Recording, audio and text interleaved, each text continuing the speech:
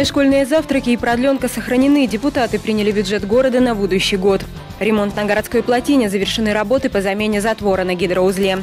В Сарове завершились чемпионаты первенства области по прыжкам на батуте и двойном мини-трампе. Далее расскажем обо всем подробно. Группы продленного дня с 2019 года будут называться группами досуга, и это единственное изменение в организации послеурочного времени школьников. Форма и продолжительность продленки останутся прежними, и самое главное, она будет бесплатной, как и школьные завтраки. Найдено совместное решение о том, что э, до конца учебного года 2019 то есть до э, июня месяца, э, будут обеспечены горячим питанием э, все ученики 1-11 классов всех наших школ бесплатно. Также в бюджете 2019 в полном объеме сохранены льготы для инсулинозависимых больных сахарным диабетом. Благодаря увеличению поступлений из региона объем казны в следующем году вырос почти на 500 миллионов. На условиях софинансирования в Сарове запланировано строительство крупных объектов. Строительство новой школы номер 11. Мы ее начинаем уже в 2019 году. Мы объявили конкурс уже а, при практически стопроцентном финансировании на ремонт школы номер 10. А, мы планируем завершить ремонт к сентябрю 2019 э, года. Мы начали уже реконструкцию улицы Симашка. Полномасштабно идет разработка проектно-сметной документации на строительство новой детской поликлиники. Мы надеемся, что к 20 к концу 2020 года она будет построена. Продолжаются переговоры с областью по вопросу строительства в Сарове ФОКа. Город рассчитывает на софинансирование объекта на условиях 30% местных средств к 70 региональных. Лидия Шулаева, Константин Островский, Александр Мальков, служба новостей Саров 24. Если раньше право парковаться под знаками «стоянка запрещена», «стоянка запрещена почетным и нечетным числам» было только у инвалидов первой и второй групп и граждан, перевозящих детей-инвалидов, то теперь к ним добавились инвалиды третьей группы. В зоне действия дорожного знака «парковка», «стоянка» с табличкой «инвалиды» могут останавливать также транспортные средства инвалиды третьих групп. Здесь же по аналогии с предыдущим моментом. Раньше было только инвалиды первой и второй группы и дети-инвалиды в этот перечень добавились инвалиды третьей группы. Изменения коснулись и желтого знака «инвалид» на стекле автомобиля. Некоторые водители оформляют специальный индивидуальный знак, на лицевой стороне которого указывается порядковый номер и дата выдачи. На оборотной стороне – данные инвалида, а также номер и серии документа, ее подтверждающие. Со временем всем автомобилистам, имеющим инвалидность и перевозящим инвалидов, придется заменить прежний знак, купленный в магазине, на специальный, зарегистрированный, с персональными данными. Не обязательно наличие именного знака. Можно а, этот знак купить в любом автомобильном магазине а, в соответствии с основаниями, которые предусмотрены, а, установить его на транспортное средство и также им пользоваться. Не обязательно получать именной знак. Пока вот требования правил дорожного движения такие – Последние изменения в правилах дорожного движения коснулись и действий водителей при ДТП. Кардинально нового не произошло. В постановлении лишь обобщили и конкретизировали алгоритм поведения участников аварии. Если при ДТП не пострадали люди, а ущерб нанесен только автомобилем, водителям необходимо сфотографировать положение машин на проезжей части, после чего убрать их с дороги. Следующий этап – выяснить, нужно ли прибегать к помощи сотрудников ГИБДД. Если они в соответствии с федеральным законом номер 40 об ОСАГО имеет право обратиться по прямому урегулированию убытков по Европротоколу в, в страховую компанию э, напрямую, то значит обращаться в, страховую, в полицию не нужно. Обойтись без участия госавтоинспекции можно в случаях, если в ДТП пострадало не больше двух автомобилей, оба водителя имеют действующую страховку, а ущерб от аварии не превышает 100 тысяч рублей. Если хоть один пункт отсутствует, следует обратиться в управление ГИБДД в приемные дни. Дарья Цапарыгина, Артемий Глазков, Сергей Рябов, служба новостей Саров, 24. Подводя итоги уходящего года, в администрации отчитались о выполненной работе по профилактике коррупционных правонарушений. В этом году знание чиновниками законодательства проверялось на аттестациях и экзаменах. Но не обошлось и без нарушений. В 2018 году проведено одно заседание комиссии по соблюдению требований к служебному поведению госслужащих и урегулированию конфликта интересов. По итогам которого к дисциплинарной ответственности был привлечен один муниципальный служащий за несоблюдение требований к служебному поведению. Порядок приема спортивной секции, творческие объединения, бесплатное обучение и платные услуги в учреждениях дополнительного образования, проверка арендованных помещений. Директор департамента по делам молодежи и спорта рассказала о том, как организована работа по профилактике коррупции в молодежном центре, клубах по месту жительства и спортивных школах города. На родительских собраниях а, значит, в этом году э, была, была рассмотрена тема запрета дарить и получать подарки. В преддверии новогодних праздников эту тему еще раз освежили. Но профилактика коррупции проводится не только среди педагогов и родителей. Подрастающее поколение активно занимается изучением этой проблемы и включается в работу по профилактике коррупционных нарушений. В период летней кампании в лагерях труда и отдыха с несовершеннолетними гражданами были проведены серии деловых игр на эту тему. Коррупция – это ну и размышления на эту тему, и что нужно знать о коррупции в целом. В завершении заседания комиссии утвердили план работы по противодействию коррупции в Сарове на 2019 год. Елена Грицкова, Владимир Лисик, служба новостей, Саров, 24. В этом году в Сарове зарегистрировано более 800 преступлений, на 24% больше, чем в 2017-м. Такой рост в полиции связывают с активизацией мошенников, жертвами которых становятся доверчивые горожане. В целях профилактики стражи порядка начали обходить квартиры и раздавать памятки, где рассказано о том, как действуют злоумышленники и как можно от них защититься. Также фиксируется рост преступлений в состоянии алкогольного опьянения.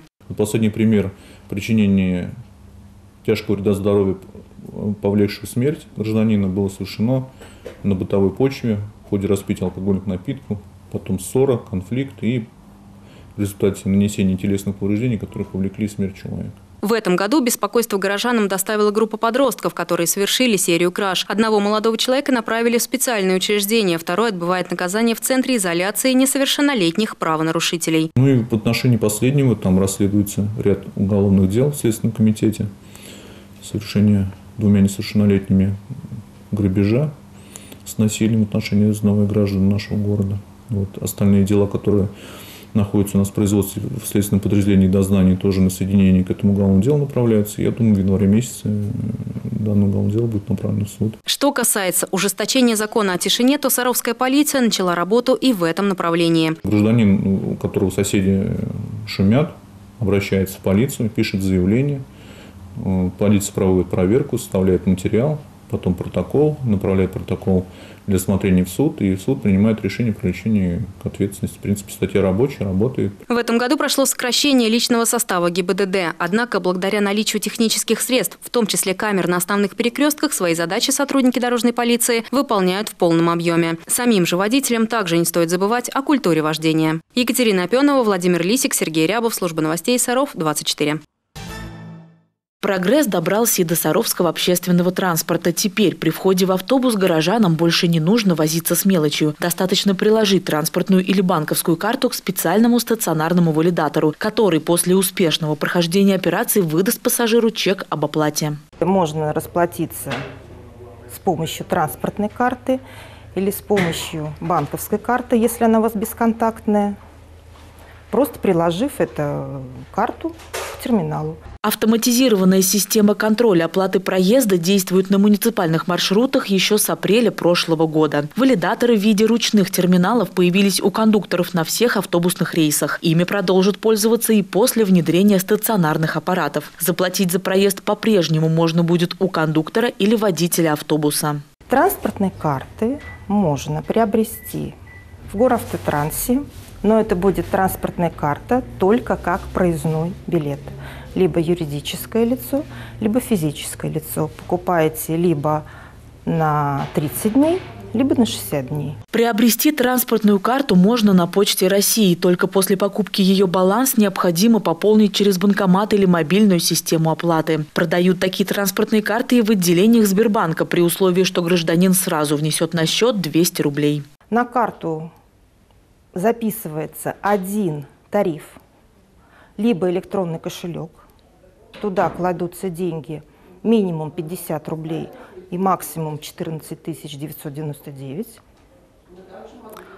либо вы дел, берете тариф проездной. И там ну, выбираете, как, какой лучше вам проездной, два месяца, один месяц. Если вы откатались проездной и вам захотелось электронный кошелек, тогда нужно идти на почту или в Сбербанк, чтобы вам перепрограммировали карту. Единый социальный проездной билет и абонемент, а также проездные билеты для школьников и студентов на бумажных носителях будут действительно до конца января. Персональную льготную карту следует получить до 1 февраля. Оформить ее можно на автостанции Тупиковой и в многофункциональном центре. Более подробной информации по телефону 977 68. Дарья Цапарыгина, Артемий Глазков, Сергей Рябов, служба новостей Саров, 24. Новый затвор для городской плотины был изготовлен в Дзержинске. Его проектировкой занимались нижегородские архитекторы. Подрядной организации предстояло демонтировать старую конструкцию, на время работ установить аварийный шендор и только после этого взяться за монтаж нового затвора. Ремонтные работы на гидротехническом сооружении заняли приблизительно месяц. Для того, чтобы его заменить, конечно, уровень воды был понижен, потому что эти работы невозможно было выполнить без понижение уровня. Сейчас вот э, затвор поменяли, сейчас все придет уже в норму.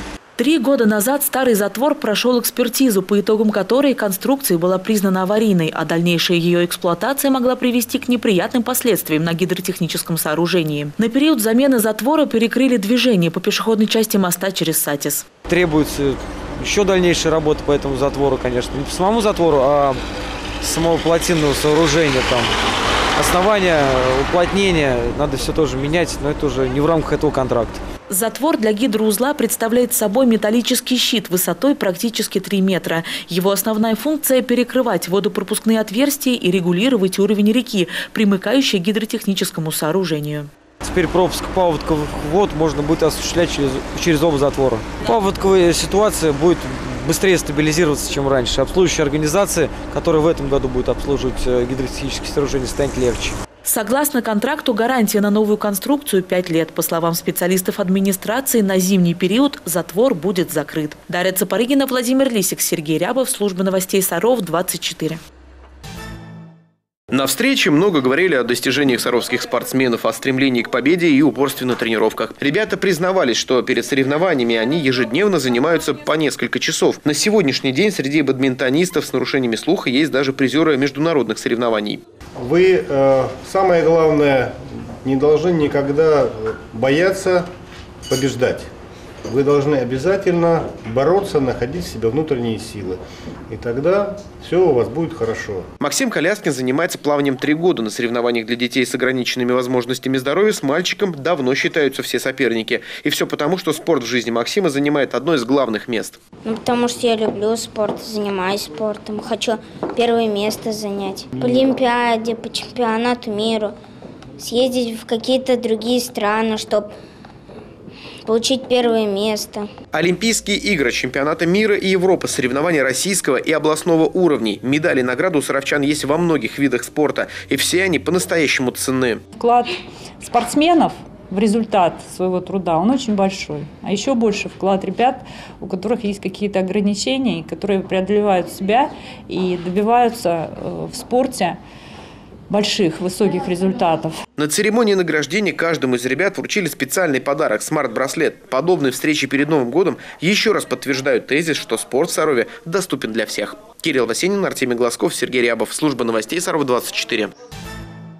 Посоревноваться в инженерно-техническом творчестве с сильнейшими командами мира и перенять опыт других стран. Трое воспитанников школы информатики «Вектор плюс плюс» получили право войти в состав национальной сборной и представить нашу страну на престижном конкурсе юных инженеров-конструкторов в Тайване. Знание механики и кинематики э, перемещения роботов оно нам позволило э, реализовать э, свой потенциал и самое главное – это слаженность в самой э, команде. Для Владислава Захарова это первый опыт участия в инженерно-технических конкурсах. Школьник проверил свои навыки работы в команде, углубил знания по робототехнике и в очередной раз убедился, что не зря сделал выбор в пользу точных наук. В течение трех часов мы собирали трех роботов. Моя роль была, я выпиливал фанеру, э, делал моторы иногда, клеил, собирал сконструировал. Глеб Горькаев был капитаном команды. На его плечи легла ответственность за распределение ролей, контроль за ходом работ. Перед юным инженерами-конструкторами стояла задача собрать из множества деталей цельный работающий механизм, использовав при этом знания по физике, электронике, технологии и другим предметам. Мне оказалось полезно ощутить э, новые условия, то есть э, очень сжатые сроки, три часа это крайне мало для трех роботов. А, и также опыт э, руководства. Евгений Корнеев в будущем хочет связать свою жизнь с программированием. На конкурсе в Тайване ему удалось посмотреть на то, как работают сильнейшие сборные и почерпнуть новые знания в области инженерно-технического творчества. Это огромный опыт. Э, во-вторых, это очень запоминающиеся эмоции, потому что каждый раз это новая страна, что-то новое открываешь для себя. И работа с другими командами очень активная. По итогам конкурса саровчане были награждены дипломом первой степени в номинации «Лучший дизайн». Наши ребята стали единственными призерами из всей российской делегации. Дарья Цапарыгина, Константин Островский, Сергей Рябов, служба новостей Саров, 24. Сюрпризом для пенсионеров стало появление Деда Мороза. Зимний волшебник приготовил для бабушек и дедушек загадки и шуточную викторину, а самым находчивым вручил подарки. Будем веселиться! Мы играть не будем в прятки, Яркую концертную программу подготовили артисты ансамбля самодеятельности «Улыбка». В этот раз темой небольшого концерта была зима и Новый год. Вокалисты исполнили русские народные композиции и хиты советской эстрады. Многие зрители в зале подпевали, когда звучали знакомые мелодии и песни.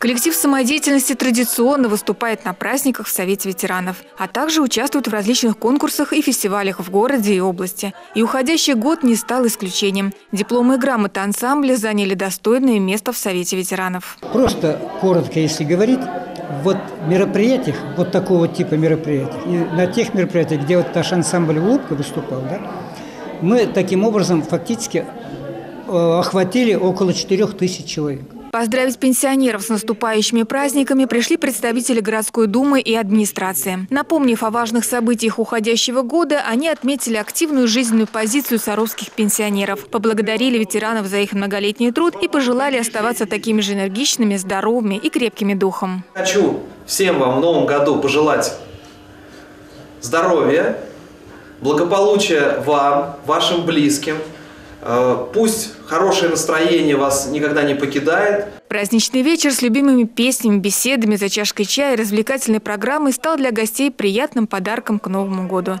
Так как самое главное для пожилых людей – это душевное общение и чуткое внимание к их проблемам. Елена Грицкова, Владимир Лисик, служба новостей, Саров, 24. Владимир Тюнов, Дарина Литвинова и Александр Широких авторской песни занимаются уже давно. Выступать втроем начали в далеком 2012 году. И за это время успели поколесить по стране с концертами. В клубе мы очень давно, поем вместе давно. И э, одно время мы с Сашей пели вдвоем дуэтом. Тоже у нас и диск есть, в общем-то, и моих песен, правда, ну, записанных вдвоем. И концерты давали вдвоем. Ну, вот э, захотелось чего-то новенького, и позвали Дашу, она согласилась. По словам Владимира, в их маленьком коллективе на гитарах играют все участники, но раскладывать песни на три струнных инструмента ни к чему. Именно поэтому Дарине Литвиновой достались оригинальные шумовые инструменты.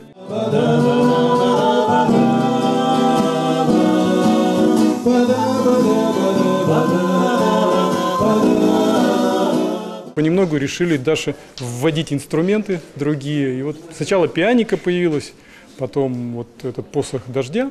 Мы его услышали у других ребят и поняли, что он очень хорошо вольется. Несмотря на название альбома «Этот город», песен про Саров в нем нет. Да и объединять композиции единой стилистикой и направлением музыканта не стали. Себе они поставили другую цель. Здесь э, хотелось э, скорее его архивным сделать, то есть записать то, что мы э, могли сделать втроем и могли сделать хорошо. То есть песенки все-таки выбирались, но я не скажу, чтобы они подбирались под диск. Прошел вечер в теплой атмосфере, а в завершении концерта артисты спели самые известные песни авторов-песенников вместе со зрителями. Кирилл Васенин, Константин Островский, Сергей Рябов, служба новостей Саров 24. Подводя итоги физкультурно-оздоровительной и спортивной работы в ядерном центре ВНИЕФ, начальник отдела физкультуры и спорта Наталья Кочеткова подробно рассказала о развитии и поддержке профилирующих видов спорта на предприятии. Это огромная поддержка. Это мало того, более 30 культивируемых видов спорта, но еще и оказание поддержки видам спорта, которые культивируются в городе. Это ведущим спортивным клубом.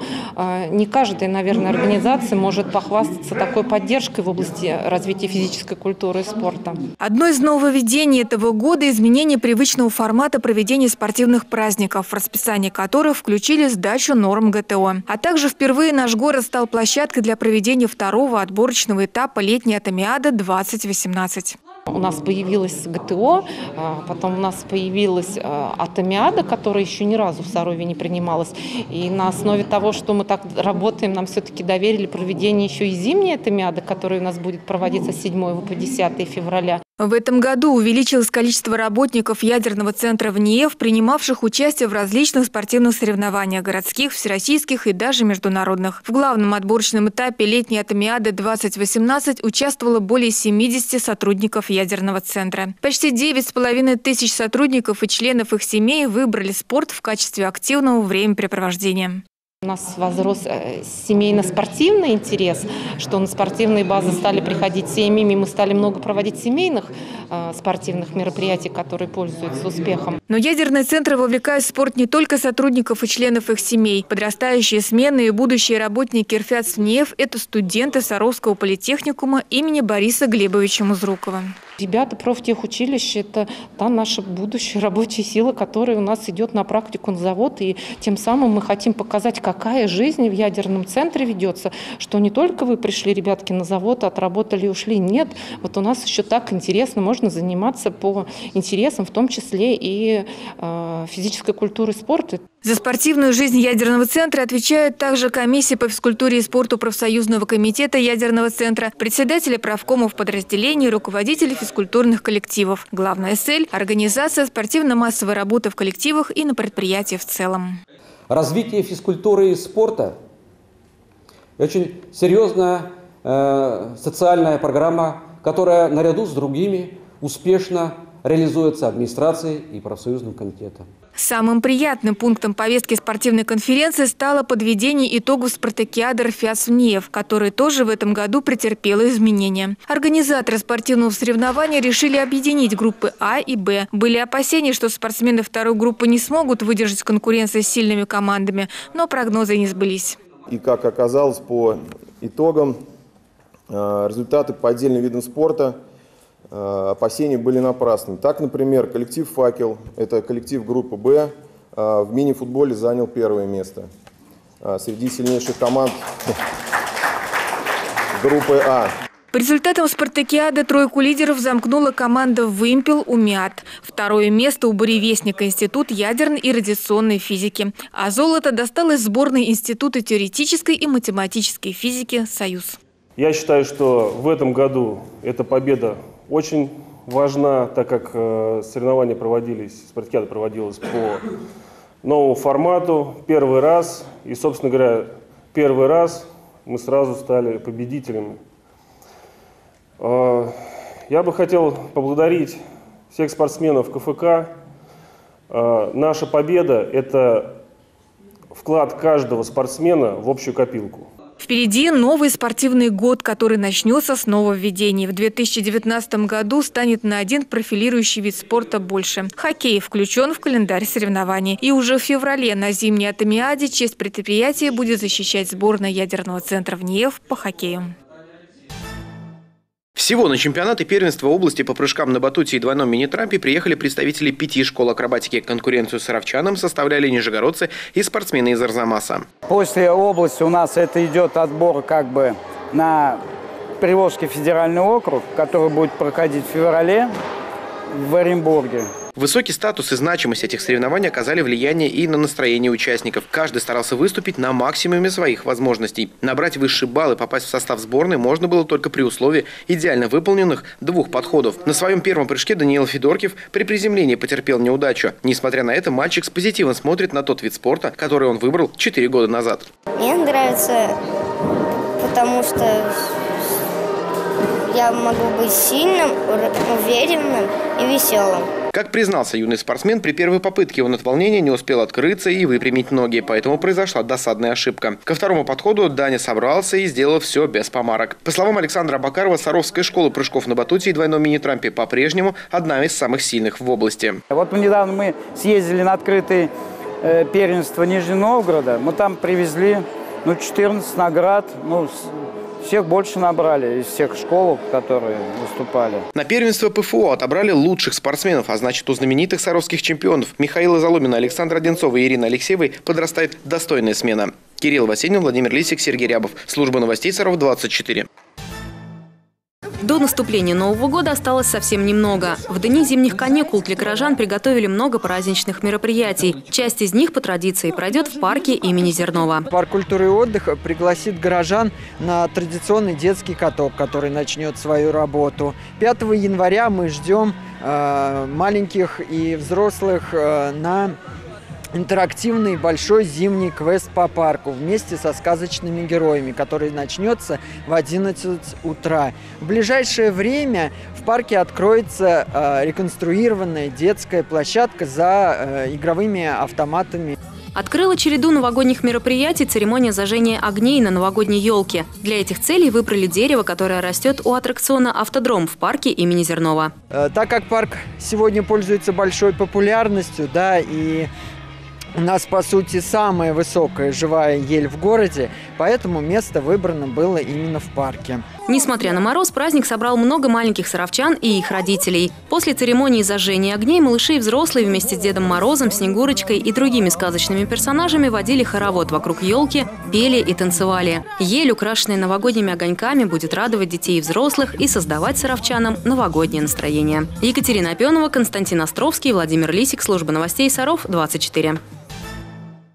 Секции тенниса занимаются ребята от 7 до 16 лет. Все они принимают активное участие в жизни Центра внешкольной работы, выступают на городских, областных и всероссийских соревнованиях. Педагоги секции стараются проводить семейные турниры для юных спортсменов и их родителей. В декабре теннисисты традиционно встречаются на новогоднем турнире. Это у нас уже стали традиционные соревнования. Мы их проводим, они уже вторые у нас. Вот, э, значит, э, это очень интересно, особенно в преддверии Нового года. Приходил Дедушка Мороз со Снегурочкой, э, были награждения, чаепития. Вот, и у нас было очень весело и здорово. И действительно ощущение наступающего Нового года. В соревнованиях приняли участие более 30 спортсменов. Всем им предстояло сразиться за первые места. По словам начинающих теннисистов, постоянные тренировки и настрой на победу позволили без труда сразиться со взрослыми спортсменами. Было очень интересно. Родители дали хороший бой.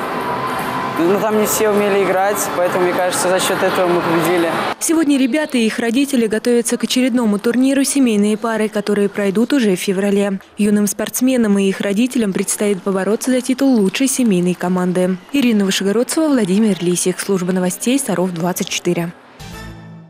Было сложно, интересно и даже весело. Такое впечатление осталось у Романа Шилина после четырех дней работы на форуме «Проектория». Участие в проекте стало для старшеклассника проверкой на прочность. Ребятам предлагалось решить задачи более высокого уровня, поэтому школьных знаний хватало не всегда. Работодатели представили задание, то есть которое называлось кейс.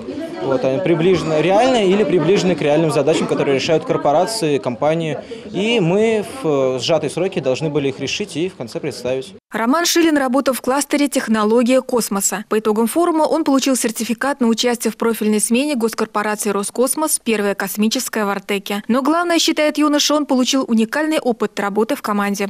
Пригодится опыт решения задач в крайние сроки, пригодится опыт э, думаю, пригодится опыт э, вот, взаимодействия с другими людьми, с незнакомыми, ну, когда нужно собрать команду из незнакомых людей и быстро распределить и все начать решать. Кристина Кузнецова вместе с другими школьниками работала над проектом в Сарове. Задачу перед учениками поставили непростую – разработать транспортную систему для острова. Но благодаря слаженной и дружной работе команды, а также помощи кураторов, с заданием старшеклассники справились. Мы должны были разработать э, маршруты так, чтобы люди недолго ждали автобуса, автобусы, чтобы это было минимально э, затрачиваемо по энергетике. Участие в профориентационном форуме очень важно для выпускников. Через несколько месяцев им нужно будет выбирать вуз и специальность, поэтому попробовать свои силы в одной из профессий – это возможность в будущем сделать правильный выбор. Форум своей главной целью преследует выявить лидеров, выявить ребят и педагогов с активной личностной позицией и помочь профессионально определиться ребятам. То есть это форум самоопределения. На торжественной церемонии награждения по итогам работы форума профессиональной ориентации «Проектория» старшеклассникам и педагогам вручили благодарственные письма и памятные подарки. Елена Грицкова, Артемий Глазков, Сергей Рябов, Служба новостей, Саров 24.